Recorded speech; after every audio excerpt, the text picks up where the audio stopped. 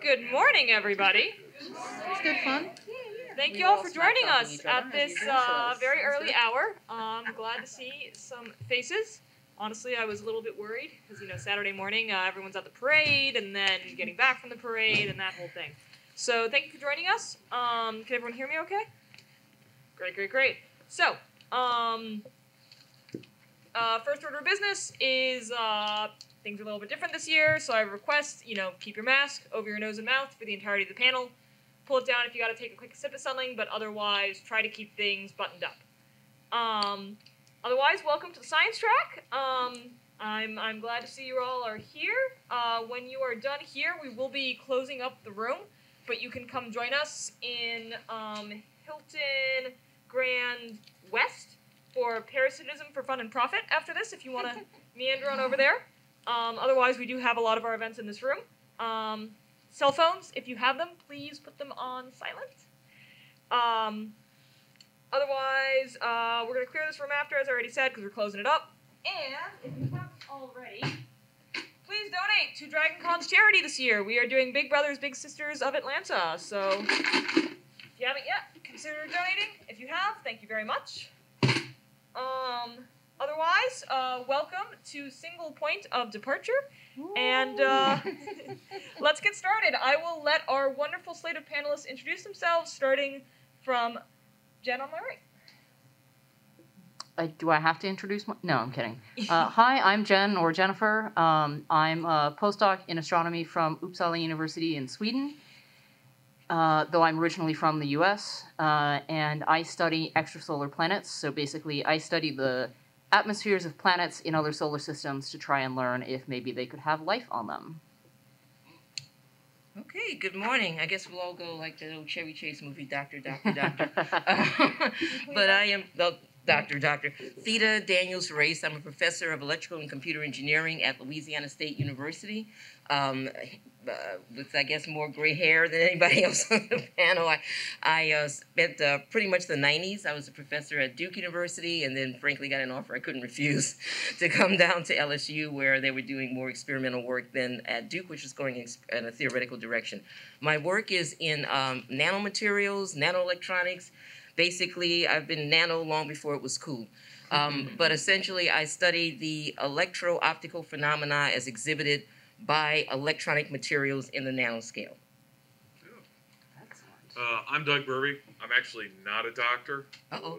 Uh, but he's super smart. Mike, Oh. you have to eat the no, mic. I, I'm not actually a doctor. I was a I was a young lad in the '80s attending college for what back then was only a computer sciences degree. They didn't have like 55, so it was me and my Commodore 64 toiling Oh, yeah. along, uh, learning COBOL, Fortran, and BASIC. Somehow or another, I ended up joining the Army.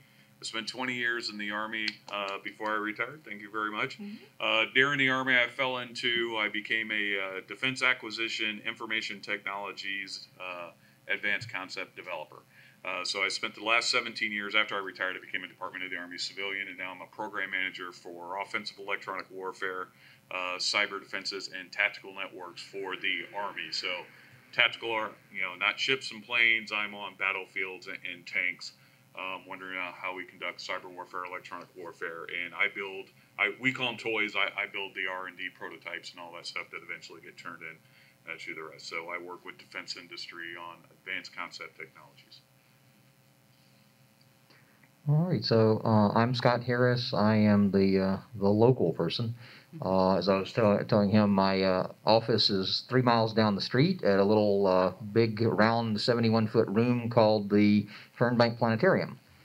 And uh, so I'm in charge of public programming there, but uh, also a researcher and instructor. My background um, is, as everyone can always tell by my accent, uh, I'm a native. Um, and but educated by way of Arizona State, uh, UGA, and Brown up in Providence in that order.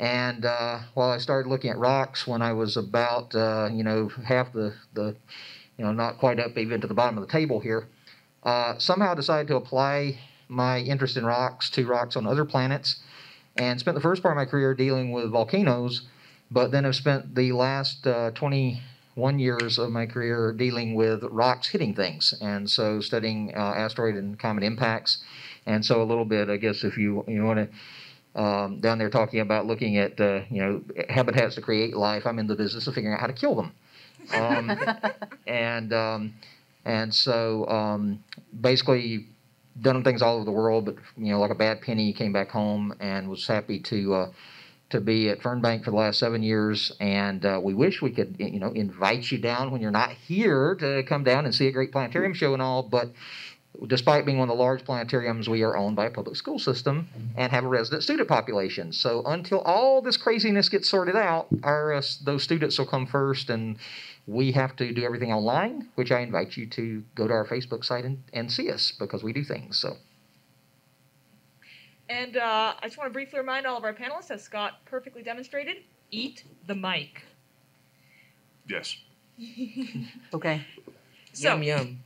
Uh, hi, my name is Liz. I will be moderating today. So, um, the way that this is pretty much going to work is we are going to discuss either some fundamental changes to the basic rules of the universe or some differences in when man, you know, humanity discovered uh, various properties of things or where we went in various technological directions, and our panelists will discuss what impacts those changes might have, both some obvious ones and maybe some not so obvious ones. And I'm going to leave a little bit of time at the end for all y'all to ask some questions if you have any. So uh, sit back and enjoy the ride. So let's start with sort of fundamental constants and other very fundamental properties of our universe. I think the one that always people are wondering about is, you know, what would happen if the speed of light was different or didn't even exist? You know, what if you could go as fast as you want? So um, I think several of our panelists might have some opinions here. I'll start with Jen. Sure. Um, I have several opinions on this, I suppose. So, um, I was thinking about this first because I live now on a different continent from basically my entire family. Um, on the speed of electronic communication, that right now I can just pick up my laptop and do a quick Zoom call home. Um, and if the speed of light, for example, was much, much slower, that would be maybe not so easy. There would be a huge delay in sending signals back and forth, even across distances like that. If it were, for example, much, much faster, you could have people they have these problems with, for example, driving the rover on Mars, that there's a delay in how long it takes to transmit signals back and forth to Mars. So if the robot's about to crash and you send a panic signal from Earth, by the time it gets there, the robot has already run into that boulder. Um, but if the speed of light was much, much faster, maybe we could drive the rover in real time, which would be really cool. Um, and I also thought about this in terms of maybe space travel, um, because of course, the speed of light sets the maximum speed for space travel, and so if you want to go to a um, planet that's four or five light years away, uh, and you can go at the speed of light, which right now we can't, but you know, just imagine that you can. It would take you four years to get there, but if the speed of light was much faster, then um, we could travel great distances in space. Maybe a little bit easier if we could get that fast. Do uh, the rest of y'all have some uh, thoughts on what would happen? Really, for me, with with the speed of light changes, because they, I forgot to mention, I'm also an author. I, I, I write uh, militarized urban fantasy novels as well. So I, I, go into a lot of third and fourth and, and what if drills in the concept. So if you looked at the speed of light being changed, I, I would have to think of how it would affect the entirety of the various different spectrum spectrums, and even like how you see and how you perceive motion mm-hmm. and movement. So if you took about away a constant of the speed of light or made it easily malleable, how would people's perceptions mm-hmm. of their environment change? Um, would you perceive things faster? Would you perceive things slower? Would you perceive things at a different rate um, than other organic creatures on the planet, which would change evolution and, and development mm-hmm. as well? So, if you went from it was a constant but faster or slower, how would that change the development of the humans if our bodies were designed to operate at a quicker response because mm-hmm. we perceive things faster? Would we be leaner, thinner, faster type sentient creatures? or if we light moves slower and we perceive things slower, would we be more slothish? Mm-hmm. Um, how would that affect cultures and developments and societies inside of, of there? So for me, it really goes into everything downstream on how you would perceive your environment because Mhm. light affects so much stuff around us. Uh, communications was the first thing I came to, you know, because that's my field. You know, if I can make light faster, you know, the getting that rover control to Mars for Mhm. me, that just goes into space and you know, galactic relay centers set up because we can push Absolutely. data across the universe. You know, essentially retransmitting satellites that aren't in our orbit but orbits of other planets. Yeah. Um, it, it- that's where I kind of go inside of that. I guess I'll take a stab at it. Um, as I was thinking, one thing that's that every time I watch, and I'm going to go a little bit into the fiction end of it, right? So of course we are talking fiction anyway in terms of changing the speed of light. But when you look at different um, movies and, and uh, television and books and so forth, um, one that comes to mind for me is um, it began with an I. It was the, the, the, the Earth. This is my husband. the Earth was losing its oxygen. Interstellar. Interstellar. Thank you, thank you, thank you. I was kept thinking of Inception, but that's the other one. Okay. um, Interstellar, and in that one, um, if you recall, if I recall correctly, correctly, if not, uh, do so. Let me know. It was the idea of there were were these beings, or maybe it was that that much more evolved humans, what have you, but there was the dimension that was also time, right? That fourth dimension. So, so in other words, if you walked from here to here, it wasn't just you were going up a physical hill, but you were maybe going across, you know, so many years and years. And you mm-hmm. remember the sad part of the movie. I it didn't. I won't spoil it for you, but suffice it to say, don't go back for the data when the ship is about to be flooded, and you're gonna die if you don't make it on there. Just, just, so, just so you know. I mean, the data is important. I get it. I get it. Right? I love science, engineering, but don't go back for the data. I have seen students do crazy stuff, like when the chem lab is filling with smoke. And no offense, because my husband was once one of these, but he didn't do this. And the and the pre meds are still titrating, and we're going, get out of the lab. It's filling with smoke. But I gotta get that, you know. So anyway, the point back to to the point is, is for your grade. Got great grades. Get out of here, guys. Yeah, anyway. hope, give him an A. Shush! Oh, I was. Uh, yeah, yeah, yeah. No, he wasn't in that lab. Those those were silly people. so the point is to think about if I don't think speed of light was necessarily um, or very directly discussed in that movie, right?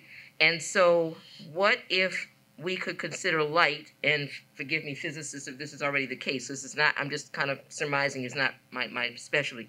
But if we could consider light essentially as part of those dimensions, you know, every movie goes space time continuum. So, what if, in terms of, as my colleague mentioned, perception, and you also had that fourth dimension of time, now how do you work it out? Because you are moving length with height, you are changing time frames, but your perception of when that changes now, if you're a being born into that different light speed, it's fine. But suppose you're the astronaut trying to get home. So that's just a flight of fancy that came to mind for me. I'm not sure I exist now.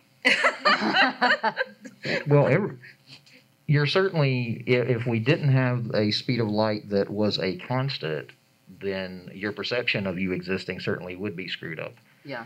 Um, I'm just thinking in terms of I, I, I mean everything we perceive is actually with our eyes is very dependent on the fact that the speed of light is not the same everywhere. It's depend it slows up, speeds speeds up, depending on what medium it's going through. I get to depend on that looking through a microscope, identifying different different minerals. And if we simply, as as as um, Jim was talking about, if you have you know the, sort of a, if you talk about that sort of starting point being higher or lower than just simply you know things like my shirt becomes wilder or or or or you know minerals certain minerals become possibly more pretty under you know under doubly polarized uh, conditions. But if you didn't have a constant if it could just d- randomly change then the way we perceive everything would just you can't even speculate about what that would be like Well, and I'm not a biologist, so uh, forgive me if I go off base here. But um, you were talking about, say, you're an astronaut and you're visiting a planet where the speed of light is different than what you're used to. Then maybe, I mean, we were talking about if the speed of light was much, much faster, we'd have to have much faster reaction times. Well, if you're um, an astronaut visiting a planet where the speed of light is a lot quicker than it is on Earth, then you're going to have trouble keeping up with everything that's happening around you. Uh, on the other hand, I suppose if it's much, much slower than you used to, then maybe you look like the Flash because you can just like do everything super quickly. But I wonder if that might be an issue as well. If, say, it's different on different, if it was, for example, different on different planets in some alternate universe as well. Was that not? And I have to look at my friend here, my fellow. I say Trekkie because I'm from the old school of, instead of Trekker. So if you're a Trekker, I still love you, no offense. But was there not an episode of Star Trek where there were beings who, when they people perceived them as like something buzzing, remember? And then, in, but in fact, they were moving. What was it? Much, much faster than everyone else. They were hyperspeed. They were out of phase with everything else. Yeah, so there's a phase issue there, right? And when I think of Ah. signal processing and communications, which I haven't done since an undergraduate, the last time I did that, I remember telling the professor, "Do you know this homework took us 30 hours this week? Oh. This was, and it was no joke." And and I said, "It was just a bunch of equations. I'm, I'm, it feels like algebra Olympics or calculus Olympics." And he goes, "Is that all?" And we all went, uh, Uh-oh. "30 hours? Is that all? Okay, yeah." So my students better not complain. But Nowadays in- they have it all in apps, though. All my engineers just pull up an app and tell me what the formula is. Oh, not in my class, buddy. no, but but that was a. It it wasn't. I don't remember. Was it so much a thing of light, or, or could could have been the perception? It was just simply a matter of speed. But um, if indeed it was a difference in the perception of light, then maybe that's some of what you guys are touching on. Talking about the- the Star Trek, though, I mean, I'll, I'll refer to my uh, you know physics uh, friends up here. With, I mean, the whole concept of traveling with warp space. But if suddenly you had uh, a variable speed of light, then Mm. wouldn't traveling at warp speed be a little more dangerous? Yes. I mean, one of the things, and I, I wanted to pose this as a question to our, our panelists, one of the things I would be worried about is would all my electronic devices built on Earth, dependent on our speed of light, would they continue to work correctly if the speed of light was different?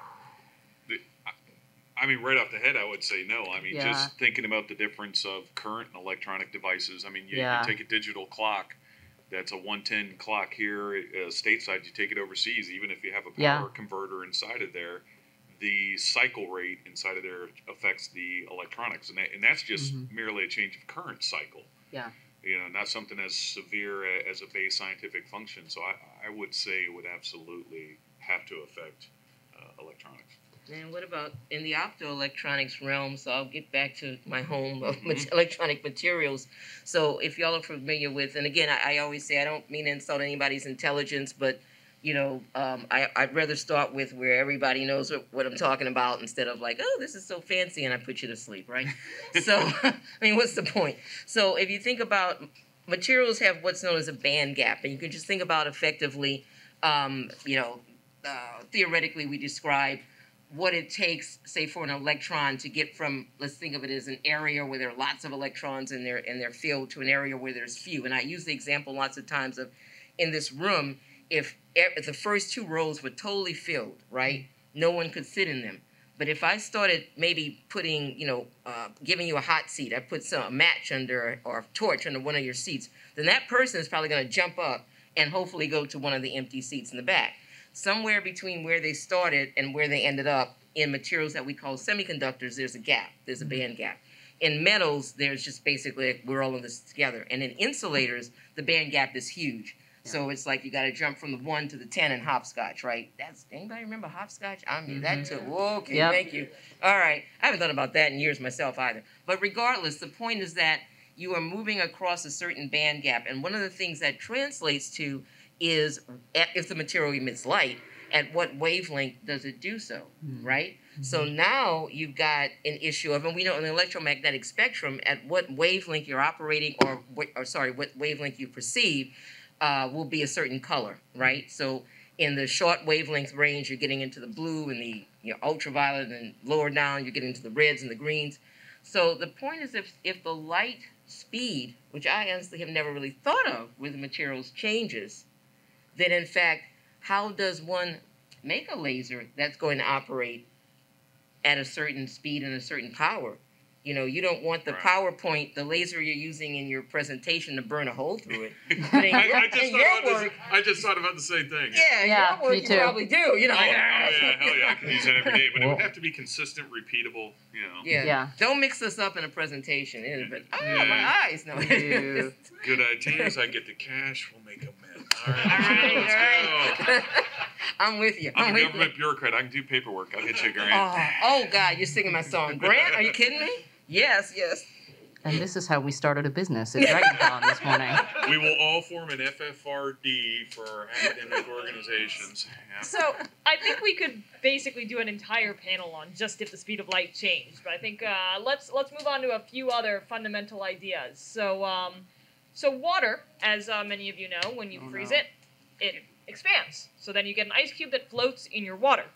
Um, and the fact that upon freezing water expands is actually kind of unusual across most materials that freeze. So what if water wasn't the odd one out? What if water got smaller when you froze it? Would that have any implications on, you know, everything? We Scott, die. take us away. Do you know why we die though? The the oceans freeze Hmm. because the as the ice forms um, and it becomes more dense, it sinks.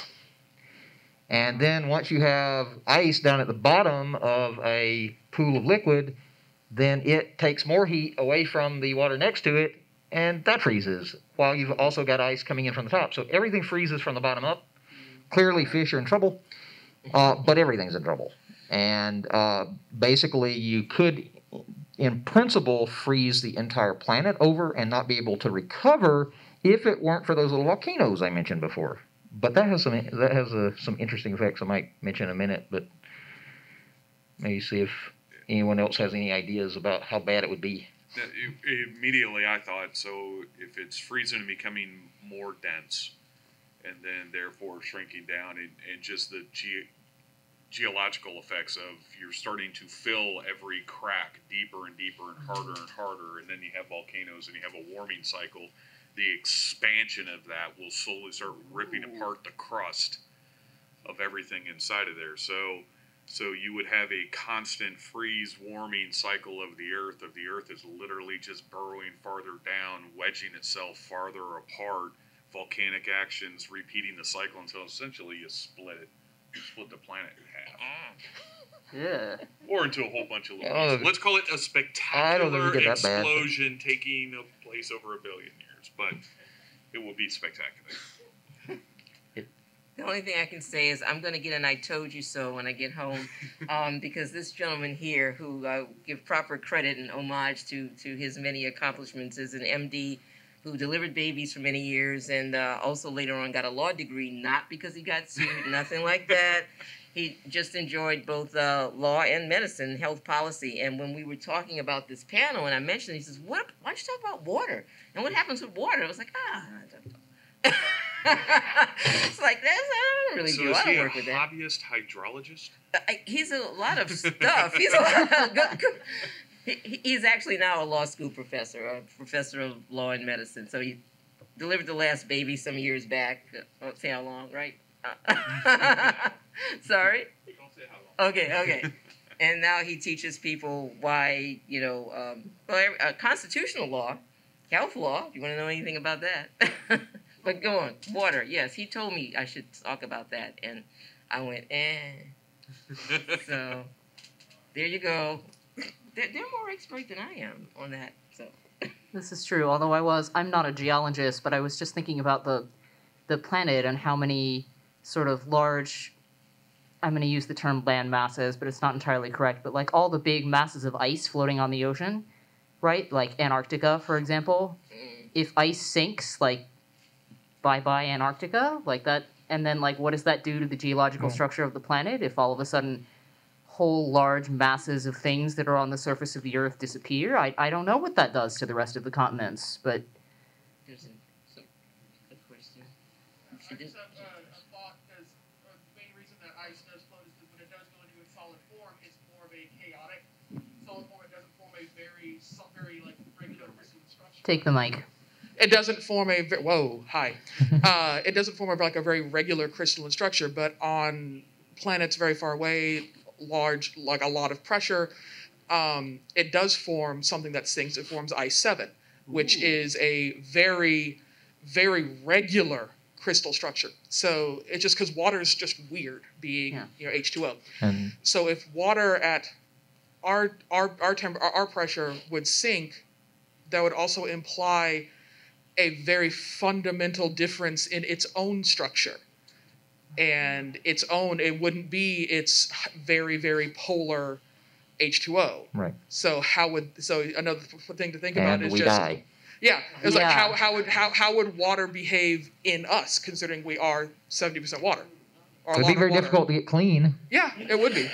because I always tell my students that's why you know why do you we, we go into talking about water and activity and melting. I mean, we to create melts on this planet. A lot of them are created by putting fluxes in them, including CO two and water. And so, if if water was was um, water is a great flux because it's a po- is a polar molecule, and we use the same reason we use to clean it separates things. And so, yeah, that's that's a problem. We we would all the, one of the other compounds that, that does this, of course, is um, if I remember ammonium. So we'd all, all become ammonium based, uh, which is is- just seems bad. Yeah, that seems bad. But but ta- talking about the the large scale processes, one of the, the yeah, in principle, the outer part of the the the planet getting warmth from the sun would, if you're close enough to the sun, if you're not close enough to the sun, you're going to just freeze. But if you're warm, where we are, and and uh, and that water is uh, more is somehow still behaving like water, um, then there's enough solar radiation to keep the uh, some kind of liquid or slush at the surface.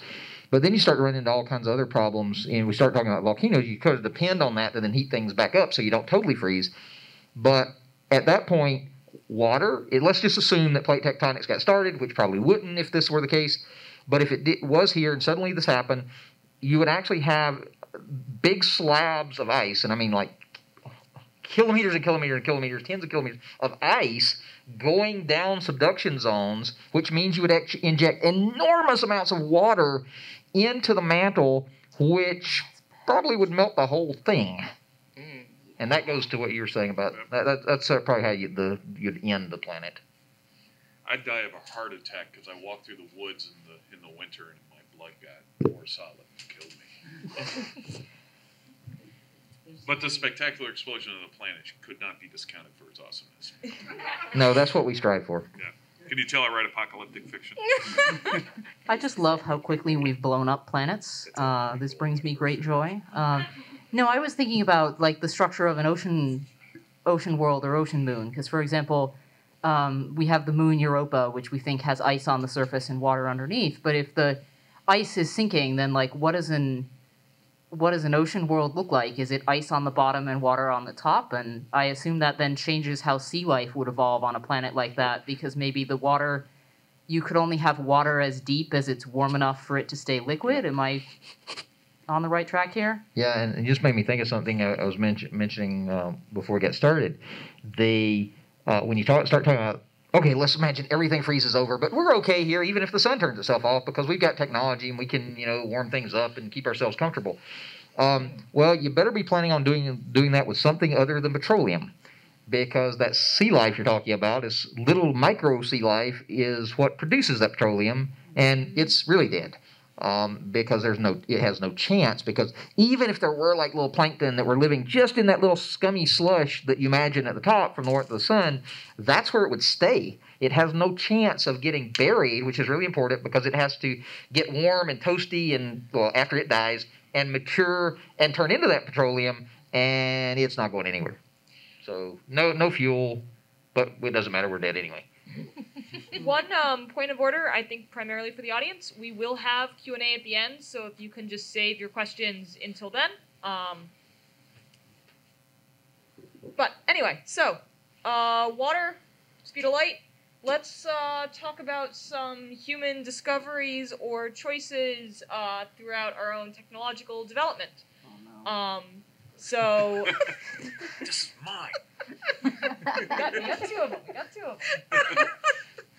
Um, so the one that I'm, I'm personally interested in hearing about is um, early on in semiconductor development, we, we did not initially start with silicon as our uh, sort of element of choice. I believe we started with another. Um, Theda, can you can you uh, discuss sort of the choice we made and what would happen if we didn't make that choice? Sure thing. Um, so we, as was mentioned, we began with. If you want to think of the first transistor, you can go back further, but the first transistor was done with germanium, right? Um, and I believe that was 1947. Bell Laboratories, which um, actually did an internship at one time, by the way, no longer sadly is there. It's a cool place. You can be a student, be down the hall from a Nobel laureate, and they're just like regular people.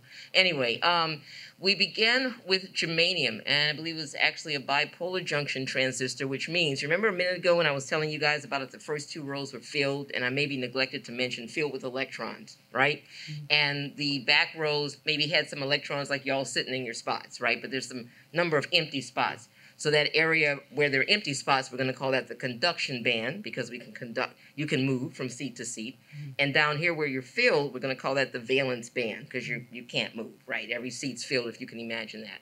Okay, so semiconductors have that characteristic of having a band gap.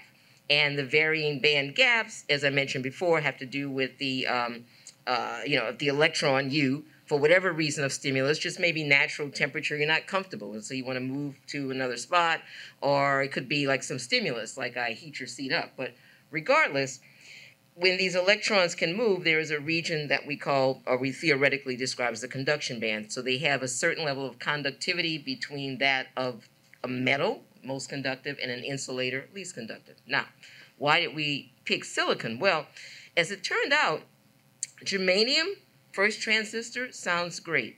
But um, likewise, along the way, and I'm not sure if I can give you an actual date for it, but as electronics and other materials were, were studied, both germanium and silicon are in column four of the periodic chart. So it's like, okay, they kind of got a thing going, they're close enough. But silicon, as it turns out, the bonds between, say, the if you want to think about, you know, the, the nucleus, and you have the electrons that are they're closest to the nucleus, they're more tightly bound, They're further away, they're, they're least tightly bound, and Those are the ones that can do that moving between the seats, conduction. Silicon has a, a better bond structure, if you will. So if you were to heat up silicon beyond, uh, or germanium beyond certain temperatures, those bonds want to break more easily. So it's like you have less tolerance for sitting in your seat when that heat, you know, you want to get out of that seat in the valence band where everybody's filled and you want to get back there to the conduction band. Well, that would be okay, except, well, I, I, as I mentioned, live in Louisiana, and all I can say is, I don't know, if we had semiconductors that didn't have as much tolerance for heat, we couldn't really operate our computers like we like. Now, some people think we can't anyway. Don't pick on us, Georgia, but we, we can. So, that being said, um, silicon has a, has a bond structure that's more amenable to the higher temperatures, but few big things on silicon. One of the biggies is it's easy to produce an oxide, silicon dioxide. Now, technically, we already have that when you look at sand, right? And when you look at sand, you're looking at silicon, but it's silicon that sand gets processed, and that's a whole other story. But it gets pro- processed and refined and so forth into silicon. But the reason you want an oxide, which means a layer that has both the semiconductor, you know, has it well, it's more of an insulator, but it's the material that has the silicon that is a semiconductor, and we're adding oxygen to it, and we're making it more of an insulator and producing SiO2, silicon dioxide, is that in electronic devices, if you think about it, if everything were entirely conductive, right, then you just got one big metal. Right? How do you turn it off? Where's the mm-hmm. switch? There's nothing you can do. Yeah. But there are transistors, for example, known as the MOS um, MOSFET, metal oxide semiconductor field effect transistor. And the deal there, I see my, my computer scientist uh, uh, son shaking his head. the deal there is that you need to have devices where you can, number one, have a switch, right? Transistors are looked at as amplifiers or switches. And number two, you want something, I'm going to go to the engineering perspective here, that's uh, cheap, relatively easy to produce, not easy, but easier than other materials, and gives you more bang for the buck. So with mm-hmm. silicon, it's easy to produce a good pure oxide. The work done on that has been certainly way more expensive, uh, extensive rather than other materials. So if you have that layer of silicon, and you have your nice oxide, let's say right here, then if you have your carrier flow, maybe your contacts of your metal, then you can kind of monitor what's going, you know, this way, this way. You can do what we call passivate the layer, which is cover it with an oxide layer. So silicon, so to speak, gives you more bang for the buck in terms of its um, cost effectiveness in terms of its ability not just to be a semiconductor, but to give you that little insulator layer that you can. You can get oxides in other materials. I mean, there's oxygen, there's oxides everywhere, but you need a certain purity of oxide and a certain controllability of the oxide. Germanium just didn't quite give us all of that, right? It can be done, but ultimately, it's it's it's frankly would be more expensive. Um, it would. Uh, I was looking up where do we get germanium? Well, it's mined in different types of. It's a an ore. What is it? Uh, I have it written down. I was trying to my cheat sheet. I'm glad somebody else had notes. I, I got them too, but they're in my purse. But let's just put it this way: you can get germanium, but you can get out of Alaska Hmm. and Tennessee. okay, um, in terms of and in in China and Russia, and I think maybe it was Belgium. You see the cost factor going on there. Hmm. You know, Tennessee is going to jack us up with the price. Like, you want your germanium? okay, but um, but silicon sand everywhere. So if we had, I'll finish with this. Sorry, a bit long. If we had uh, gone the route of germanium, we, I believe, would have seen slower progress in terms of electronic development because we would have been fighting a bit more with the material. Not that silicon's easy, but it is more amenable to what was accomplished in what was then micro and then later nanoelectronics with silicon as opposed to other materials. But there are plenty. I worked for years in gallium arsenide, right? Because silicon doesn't emit light. That's just one foothold we got in other materials. You can get light emission in other compounds like gallium arsenide, which is gallium from column three of the periodic chart, and arsenic from column five of the periodic chart. Three fives, as we call them. Those emit light, but think about it. Now you've got two elements, and you've got more to deal with than one. Can I ask a question? Yeah. So you were talking about how silicon operates better at high temperatures. Um, as an astronomer, we routinely cool, for example, instruments on telescopes down to very, very cold temperatures to eliminate noise from Mhm. caused by the heat that they're generating. Is there a difference between how the two of them operate at cold temperatures? I would tell you this. I quite honestly, I would have to look up the temperature range, but silicon does have a wider range Okay. because even in, in my work, which is down at you know the nanoscale, you're looking at the, the great universe. I'm looking teeny tiny. Mhm. We actually to see some of the uh, the simple electronic process I just mentioned of going from the valence band to what we call the conduction band. Now, chemists, when y'all talk about valence and valency is a little bit different. So uh, I want I'm just trying to tell you, electrons moving from here to back there, right? Um, when we need to look at things in the nanoscale, we too have to eliminate noise and interference. And literally, it would be like um, trying to get a picture of a, of a kid that's wiggling or an adult in their seat, and you say, keep still, because, you know, with older cameras, you don't want it to get blurry, right? So, in order to keep you still, we cool you down. And at least in the work that I've uh, collaborated with or done. I do have the equipment in my lab, but we don't have anybody who knows how to make a good helium transfer. Um, I was never trained in that either, and I'm not going to trust somebody to just try it. Um, we can get down to four degrees K. I don't know if you guys go lower. No. Not on the telescopes I'm using. Okay. Okay. Okay. Okay. Okay. And I know there's I, I have there's research down to absolute you know getting to absolute zero. I've not kept up with how closely they've gotten to that, but I know at IBM when they were looking at um, you know this the whole everything's quantum right? Every, everything even the cartoons they talk about quantum quantum. But there was some work done at, at uh, one of the ibm research labs that i read about a while ago and it might have been at, put at a university but they had an instrument that was like down in the bowels of the basement or lower of the building. So because actually some of the instrumentation i use if you walk across the floor that's too much vibration so you got to sit yourself down and be quiet and do your work because you don't mess up the measurement. Um, but also to cool it down to almost absolute zero so they could look at certain effects at the, you know, the, the quantum world is so much different from the world we're sitting in. But to get these seven angstrom, I believe, is it, no, seven, ten, seven nanometer um, channel regions of transistors. Channel region meaning where the action is, you know, where something, something gets from A to B so that you get an electronic effect of the transistor. And they've gotten it down to like seven nanometers in size. And if you think about nanometer, I always say take a piece of paper uh, and say this is just a thin piece of paper or a page of this gentleman's book. Um, I'm going to promote the book here because it's cool. Yeah, And all the ones after it. there you go. There you go. And just slice that down to a hundred thousand times thinner. There you're looking at a nanometer. You know, it, a meter for a meter is a, a little bit bigger than three feet. So a yard for anybody who sews, any cosplayers, right? So you buy some fabric by the yard. But if you um, want to take a meter, think of like me growing up in the English instead of the um, metric system as much. Think of um, something a little bit more than three feet. Cut that into a billion equal pieces, and one billionth of that of that meter is a nanometer. One times ten to the minus nine. Or a nanometer is about uh, what a gold atom is about a third of a nanometer. So wherever you pick your poison, you know, fabric or you know atoms or a piece of paper, your hair, depending on how thick your hair is. If you slice it down 70 a strand of hair, I'm not going to pull it because hurt. But slice it down 75,000 times or 100,000 times somewhere in there, you're going to get your nanometer. But to to your point, to get back to um, temperatures, the electronics that's used to do that Mm-hmm. um, there are, I would say, certainly silicon-based chips, but there very likely are also gallium arsenide-based integrated circuits in that Okay. because you you need that. Sometimes things like gases, we call it gallium arsenide, has a is better for for power electronics. But I'm kind of spitballing here because exactly what chips are in that instrumentation. All I know is we can get down to like 40 degrees K for the very reason you said to stop the interference. I'm gonna go home and look this up. So if you find me tomorrow, uh, I might have an answer for you. Anybody here from Tennessee?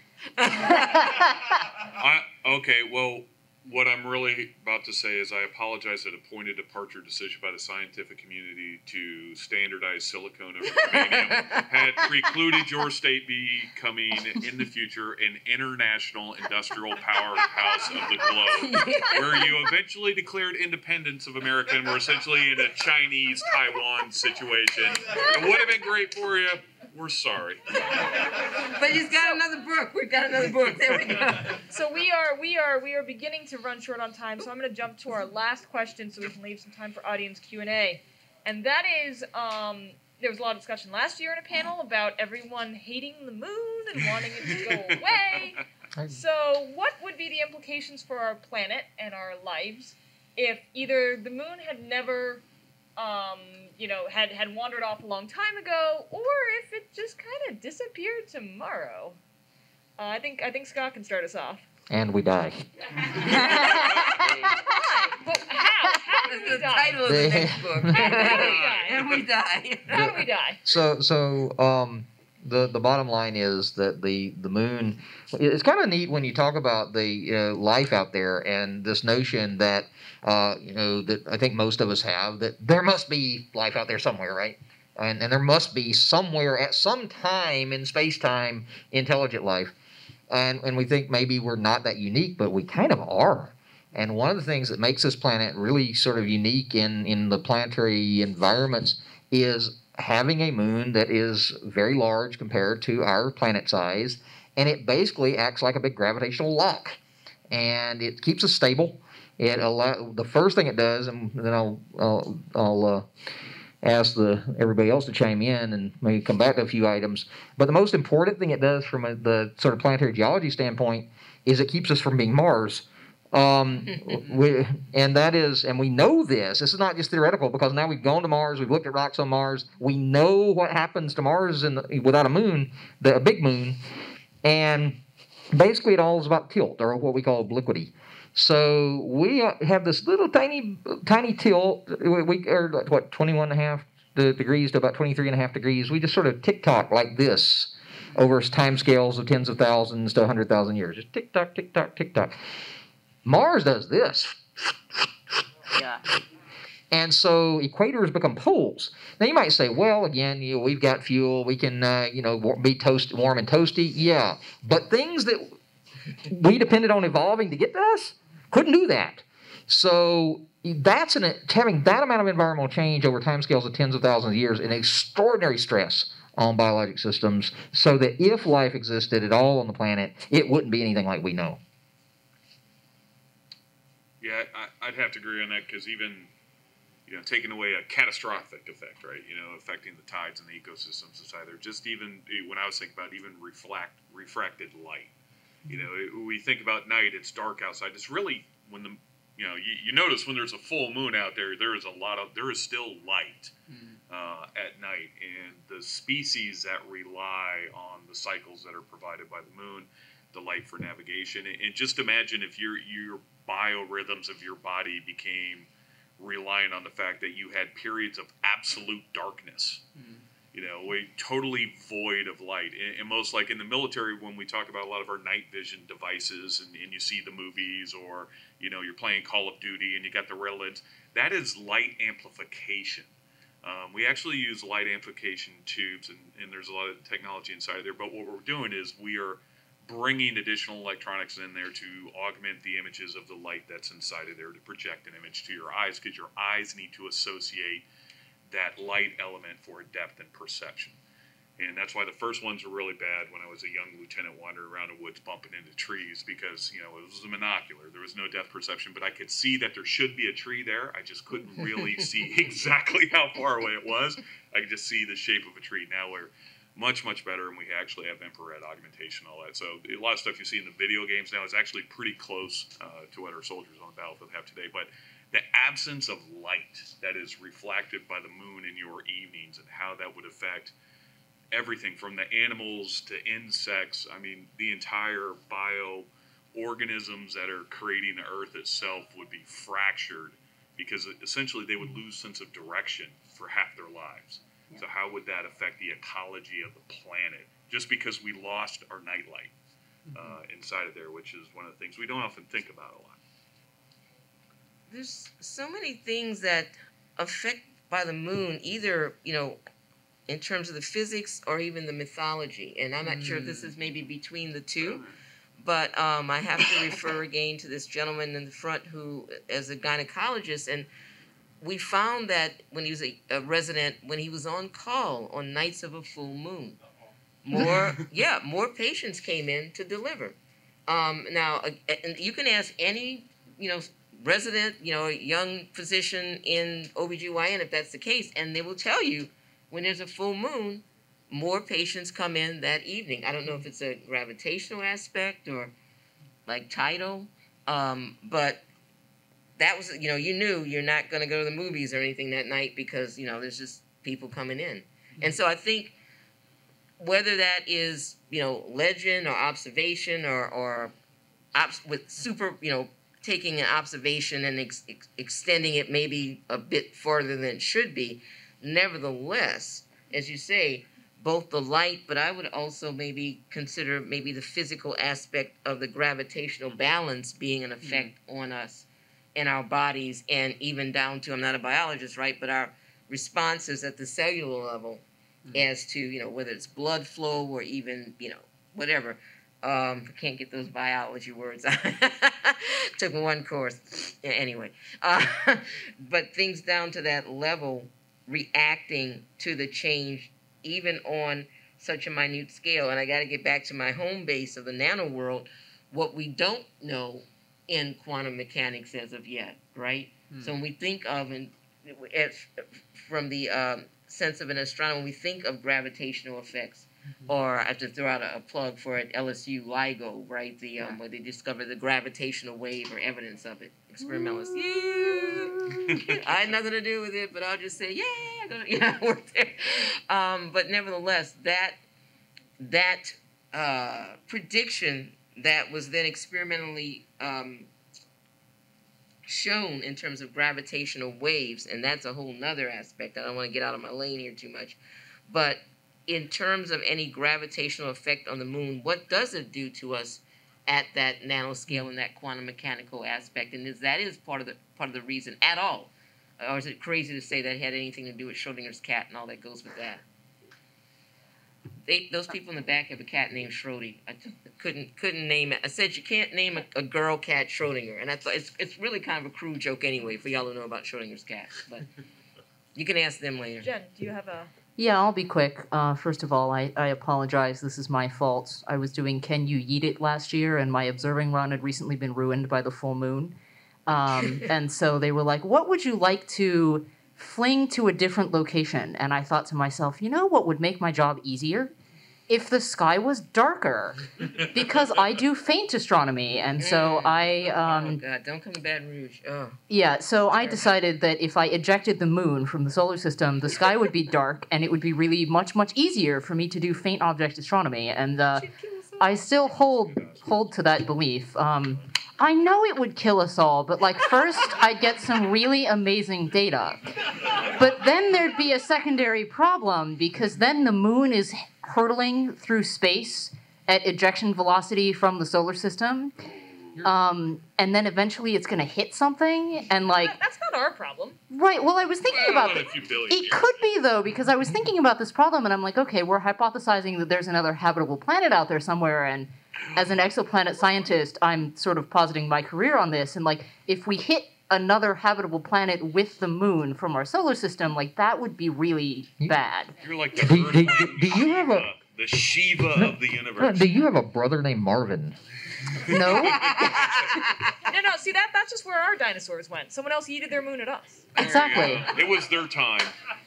you went back for the data, right, in, in um, Interstellar, and that is why that poor man had to spend See- see, 200 years. if if you if you yeet the moon to make your observation easier, and we all die, no there's no one to give you more grant funding. but I get some really cool science on the way out. And So we, we we only have a few minutes left, so let's do some audience Q and A because I know you all have been waiting. the hand way in the back that was first, I think. Yeah, can I just point out one and try to try to keep your questions short, and they should end with a question mark. Okay. Um, so I, uh, Kylan Race, I'm a deep learning software engineer at Intel, and I've done a couple of, I've done some research at the uh, quantum computing lab in Hillsboro, in Oregon, um, and I had a question in regards to how y'all go. You'll mention that sometimes you'll cool down your tools um, to make the, I guess, the state more stable. Um, and I know in the lab, in, at least in Oregon, they use like lasers to kind of trap the atoms, and then they use like a combination of like microwave pulses and lasers. you. And they use a combination of microwave pulses and lasers to cool down the atoms to like microkelvins. But how how is that? Is that kind of how do y'all cool down your tools? Is it a, something similar, or is it? You wanna go first? Sure. So in astronomy, we use um, things, for example, like um, liquid nitrogen. So we had an on-campus observatory um, where I did my PhD, where we had to cool some of our detectors, and we had a basically we we circulated um, liquid nitrogen through them, or or other things like that. I'm I'm blanking on. I'll think of the other thing I'm trying to think of five minutes from now. Um, but that's an example, or or liquid helium, or other basically any any liquid that gets really cold. Is what we would use um, because we want it to be able to be liquid at very cold temperatures so it doesn't accidentally freeze while circulating through our um, our machinery. We had that happen once in an ice storm and it was not great. Yeah, I'll say ditto in that. Um, I'm thinking now that this this is LSU, so we're not using um, lasers and microkelvins. I would love that grant money though. By the way, I could Me too. manage that. FFRDO. Hey, okay, but liquid nitrogen gets you down to 77 degrees K. Um, and in electronics, physical electronics, we use it with varying types of instrumentation that say it's say you just have a chamber and it's a vacuum chamber and you want molecules of a certain species of material, say like gallium, to go from point A to B. You don't want it spewing all over the chamber. So you have a vacuum chamber and you have the chamber constructed in such a way such that those when that gallium is heated up, it's going to make a column or beam straight to your target, right? Well, mm-hmm. even as it does that, and other materials, you know, also making those beams and going to what's called molecular beam epitaxy, if anybody's dealt with that, but it has I to did. do with, yay, did you? Hey, high five. Okay, it has to do- I'm out of it now. It's a lot of work, but It was it was a long time ago for me too. there you go. You, you have to make these thin films that you need, right, in, in electronics. So you want to get these perfectly atomically smooth films. Well, nonetheless, the materials that it takes to do that are still going in the chamber. You don't want those materials flying around. Like you don't want, if you're trying to, as we call it, dope, nothing to do with drugs, but as we call it, dope a material, say with um, silicon to uh, gallium arsenide to get it more N-type, more negative conductivity. Or you can dope it with beryllium to make it more P-type, what we call more positive conductivity. Bottom line is, you don't want the negative and positive conductivity mixing up because then you've got uh, cancel each other out. You're basically make an insulator. So how do you stop it? You cool the chamber down, the walls of it, so you can have liquid nitrogen flowing through basically tubes in the wall of that chamber. So it's just like anything, it gets trapped, right? I heat you up, you want to move out of your seat. I cool you down, you freeze in place. Okay, and then for the four degree Kelvin, that's the, the, the um, liquid helium that is again used to cool down the equipment so that any sensing, anything that has to be, uh, as you said, you do, was it low light astronomy? I Um, do, uh, faint- yeah, faint astronomy. Faint astronomy. Okay. So there are also a lot of processes where electrons want to move, or even picking up uh, phonons, that's a vibration, right? Quantized vibration. If we want to be able to sense that to pick it up, we've got to get the interference of everything else out of there. So that's the four degree K. But what you just described is like a whole nother level of fantastic, you know, more intense science and a whole heck of a lot more money to do it. So, do we? Say Uh, again. I just want to move through a few more quick questions if we can. Uh, And helium is fun enough. The superliquid behaviors is just incredibly painful. next question. Um, yeah, I had a question on the whole ice becoming more dense uh, topic. Would that mean, as far, based on my naive understanding, frostbite is caused by ice expanding and breaking your cells? Would that mean that humans couldn't be frozen to death if they, because the minute they thawed, their ice, their cells would still be intact? That's a good question. I, I Well- would think you'd stop breathing and pushing oxygen to your body. Yeah. before Yes. Froze to death. One of the things I've seen, kind of in, in line with what you start off with, was not so much okay. Well, you know, let's assume that we evolved in a way to deal with Yeah, this. that's. If we d- had, if that had happened, then actually we would be very, mo- very well equipped for long-term space flight Yeah. because we would be used to being frozen and woken back up. So would um, we would we just like hibernate over the winter and like just sit out and freeze like some of the frogs do? Would better, not Yeah. not not much alter, alternative. Next question. That's a good question. Please stump the panel. I love it when they stump the panel. yeah. What if the nuclear strong force didn't exist? Ah, Ugh. go on physics. I, I say I do physics, but not that part of it. I don't, I don't do that part either. You win. Stump the panel. Hey. Bad things I suspect. And then we die. Yes. yeah. Yeah, I suspect it would be really bad, but um, I do stellar atmospheres. Sorry. Do we need You know, Stephen Granade nothing- in here? I don't know. Well, you're, you wouldn't have a stellar atmosphere at all because the everything. I mean, it wouldn't be the. It's sort of the a little bit of the water problem, right? But in reverse, everything would already just fly apart. So Ah, okay. you Yeah. couldn't have yeah, nuclear we wouldn't, we wouldn't have any any atoms, would we? No. It'd be bad. No atoms would be really bad. That's another one. We're dead. This is the most fatalistic panel I've Maybe ever it's The panel's gotten very depressing. Does anyone have an optimistic question? there, we got one back there. Calling Nietzsche? Well- is Nietzsche in here? Like, Better, it better not be But- depressing. But by the way, you know, I just forgot about the talking about the moon things and pick on the moon. Just for any literature fans out there, uh, how many of you uh, like Mark Twain? And, and there's a story called "The Connecticut Yankee in King Arthur's Court." That would have been about 20 pages long without a moon.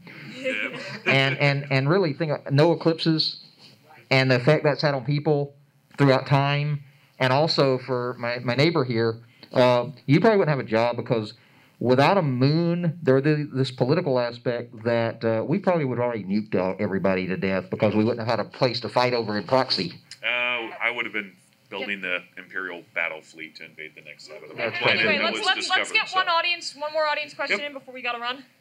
Uh, quick paradigm. Humans are quantum computers and quantum detectors. We can view changes in pigment, or we can view color differences because of a couple of molecules. We can smell different isotopes. So whether something is a C14 or a C15. Um, brains are very simple computers, massively parallelized and constantly retraining themselves to go, okay, is that a bear or a person in a bear costume? How scared do I need to be? So, what if one of these massive shifts happen? We start detecting time differently, start detecting light differently, start having to process. What if we just figure it out? Well, I couldn't. What is the last? Put, put the mic. What, what, Sorry. Can Um, you please eat the mic so we can hear you? Uh, okay, humans are massive parallelized quantum machines. So we can think uh, like a quantum computer. We can see differences in molecules and pigment. We can smell different isotopes. So what if one of these horrible things, or one of these things we think might be horrible, happens, like time shifts or light completely changes how it views, and humans just adapt and figure it out I and think- teach each other. I think my question would be: Would we adapt before we died? Basically, is, Exactly. is my my question, and I, I'm not a biologist, so I don't know. But it, my question would be: Is evolution fast enough? But if we assume that we did evolve in the manner that you described, then I mean the next syllogism and the assumption would have to be, well, yeah, we'd adapt. But I mean, you know, it's like the fight I've had with people as to what's a life form, right? So mm-hmm. you got your, you know, they say we're ugly bags of water, the silicon life form on Next Generation, right? But there were a sentient life form. Mm-hmm. So yeah, I think if if we assume that we had evolved into such a position as you described, then I guess we could assume we'd adapt. But Yeah. great point.